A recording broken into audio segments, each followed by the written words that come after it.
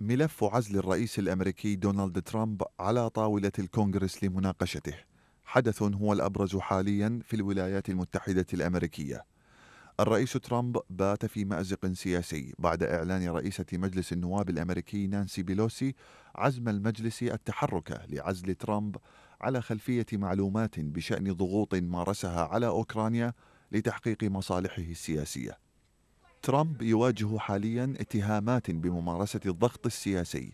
كان آخره تأجيل تقديم حزمة مساعدات عسكرية لأوكرانيا بقيمة 400 مليون دولار للضغط على الرئيس الأوكراني فلاديمير زيلينسكي لفتح تحقيق مع نجل جو بايدن المنافس الديمقراطي لترامب على الرئاسة الأمريكية المقبلة في عام 2020 بيلوسي تتهم ترامب بنكث اليمين الدستورية بمساعيه للحصول على مساعدة دولة أجنبية لتقويض ترشح منافسه جو بايدن.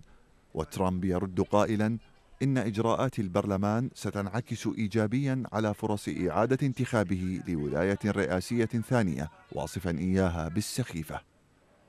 وما بين هذا وتلك تبقى إجراءات العزل في الكونغرس خطوة أولى في عملية معقدة لا تتمتع بفرص كبيرة في إخراج ترامب من البيت الأبيض وفقا لمسؤولين أمريكيين. لكنها فتحت فصلا جديدا ومحفوفا بالمخاطر في السياسة الأمريكية قبل 14 شهرا فقط على انتخابات الرئاسة والكونغرس. ورغم أنه لم يحدث عبر التاريخ أن عزل أحد رؤساء الولايات المتحدة إلا أن الدستور الأمريكي يمنح الكونغرس سلطة عزل الرئيس بسبب الخيانة أو الرشوة أو غيرها من الجنايات الكبرى أو الجنح إذ يصبح قرار العزل ساريا بعد موافقة الأغلبية في مجلس النواب.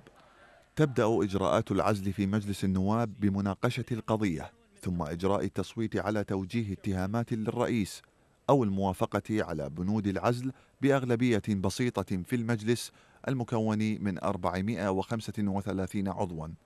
ويشترط الدستور الأمريكي الموافقة بأغلبية الثلثين في مجلس الشيوخ المكون من 100 عضو لإدانة الرئيس وعزله.